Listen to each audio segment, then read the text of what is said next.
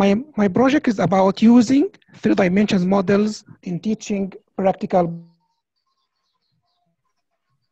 a lot of problems regarding teaching practical pathology like alteration of the of formalin, lack of interactivity, difficulty in preparing OSPE exam. And an alternative way of teaching gross pathology specimen. And that's what we have all good because of the recent advances in computer graphics and technology, and also the beginning of corona crisis strong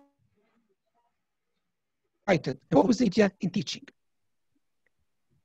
This was my time plan. In January, in February, I made the three models. And in March, I embed computer active teaching material. At the last week of, of March, I start this extends from the last week of March and along April. In the last week of April,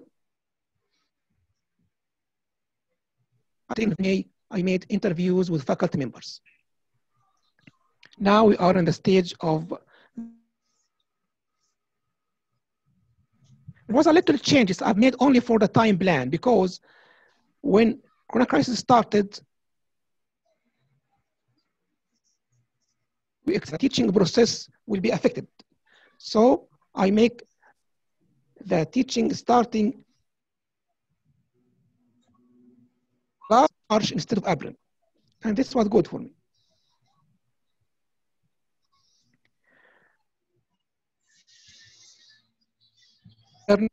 Bad ones are not always an obstacle for reaching our goals. It could be an opportunity. This happens actually the importance of e-learning technologies, and this was a strong positive point regarding my project.